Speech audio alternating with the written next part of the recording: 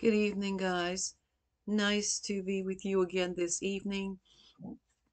This is Pastor Robinson, New Covenant Church of the Lord and Savior Jesus Christ. So happy, so thrilled, so thankful to be a part of his body.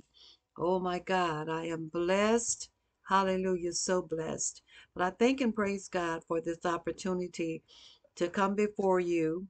We ask, of course, that you would listen, hallelujah, and uh, just hear what the Lord is saying and speaking to the church at this time. We are uh, absolutely going to read the Word of God uh, that we think and believe that God is sharing with us this evening. Hallelujah. Hallelujah. First, I, I want to share with you, and I want to ask you to please share, share, share, and want to ask you to subscribe and ask those who you know to subscribe to the channel. Um, yes, that always helps. Um, we are going forward and we want to take you with us. Hallelujah. Glory to God. So today we're going to do something a little bit different. Um, want to share with you a vision that was given me actually a couple of years ago. I have shared it with some others, um, some other peers, and um, they have been like overwhelmed with, yeah, yeah. mm-hmm. And so now I, I'm bringing this vision forth to share with you. I don't remember if I was asleep or awake, but I believe now that I'm thinking back on it that I was asleep. And that when I woke up, I remember writing down the vision. In this vision, I recall being present. I, re- I knew that I was there. Uh, it seemed like I was up over what I was seeing. And I was seeing come out of a certain area in the back of the room that we were in.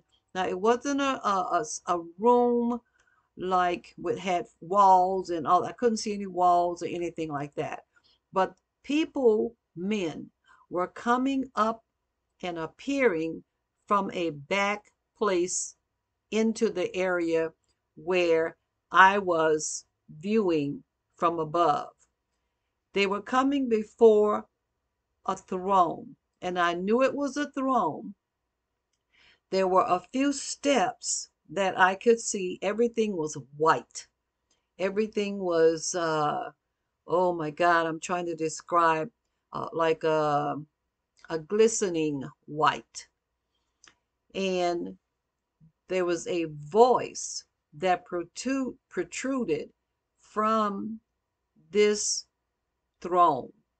I couldn't see who was sitting on the top of the stairs. I couldn't even see the top of the stairs. All I could see was it was all white and that there were about two or three steps that I could see. There may have been more, but all I could see was two or three steps. And I was up here in the vision looking down. Guess what? Could not hear what was being said, but this is what I did see. I saw men, one at a time, coming to appear before this throne. And whatever was being said to them, it seemed like they were receiving instructions. And I recognized that these men who were coming out one at a time were leaders and that they were from different countries because of the attire that they had on. Uh, for instance, one person would come out and they had this Indian, uh, maybe had a turban on. And uh, then they would stand there, and I, I knew they were listening to what was being said to them. Like I said, I couldn't hear it, uh, but I knew they were listening and receiving. and they were not writing anything, they were only listening and paying attention. They did not speak. There was no collaboration between whoever was on the throne, and now I know it was the Lord, and the the man that was appearing before the throne. He would receive these instructions. And how, how do I know that? I just knew it. That's how I knew it. I knew that they were coming to receive instructions. And it was, you know, a place, a heavenly place. It wasn't hellish at all. They would stand there at attention and receive what was being said to them. And then they would go back right into that same area out of that place that they came from. And I wouldn't see them anymore. And then another man would come out. And I knew perhaps that he was from London because he had on a kilt and he had the, the shoes and had the, you know, all the attire that was from, I say London, but England is uh, more uh, uh, descriptive. And so he would come out and stand there for a few minutes and he was receiving what was being said and just listening. There was no conversation. And then he would go away. And then another gentleman would come out. And I knew he was from Africa because of the attire that he had on. And he was listening. And this went on. And this went on. There were so many that came out. They came out and they got instructions. They received instructions. And then they went back out of the same way that they came. I pondered that for years. I shared it with specific people because I knew everybody was not going to handle what I was saying to them or even believe that I hadn't eaten something that caused me to have a bad dream, which it wasn't bad at all. It was presence. It was a peaceful place. Uh, I'm trying to recall what all else I did see in that place. But I want you to know that now I understand. Oh, let me turn this up. Okay, yeah, you can hear me real good here. All right. So, with that said, I want to read this passage of scripture to you. And I'm going to be reading from Isaiah and I'm going to be reading from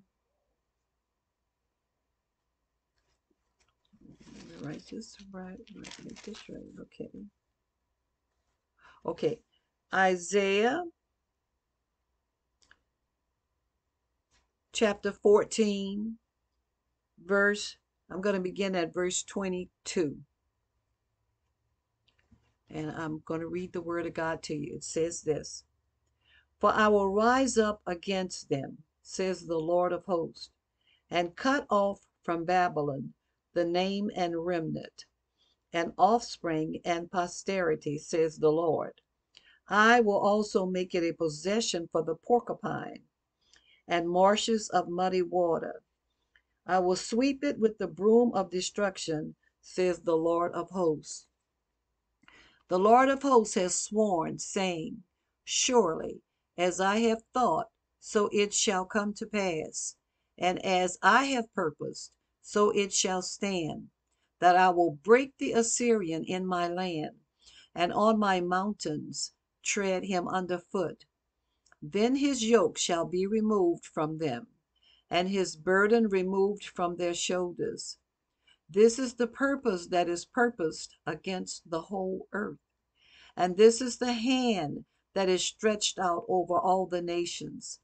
For the Lord of hosts has purposed, and who will annul it? His hand is stretched out, and who will turn it back? This is the burden which came in the year that King Ahaz died. Do not rejoice, all you of Philistia, because the rod that struck you is broken. For out of the serpent's roots will come forth a viper, and its offspring will be a fiery flying serpent. The firstborn of the poor will feed, and the needy will lie down in safety. I will kill your roots with famine, and it will slay your remnant. Wail, O gate, cry, O city. All you of Philistia are dissolved. For smoke will come from the north, and no one will be alone in his appointed times. What will they answer the messengers of the nation? That the Lord has founded Zion, and the poor of his people shall take refuge in it. May the Lord God Almighty open your ears and open your heart to what He is saying to Zion. Spiritual Zion, natural Zion. We know that God is sovereign and what He has purposed shall come to pass. Again, we would love for you to contact us. You may so do by online. We're www.ordained-ministries.com. That's our website.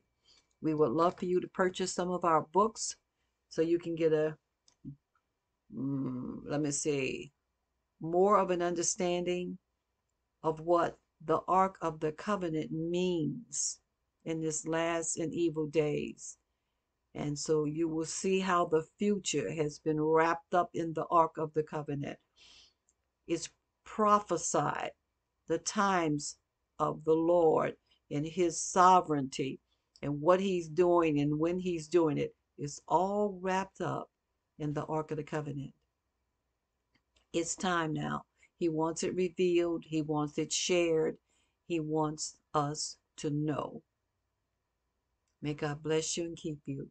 In Jesus' name.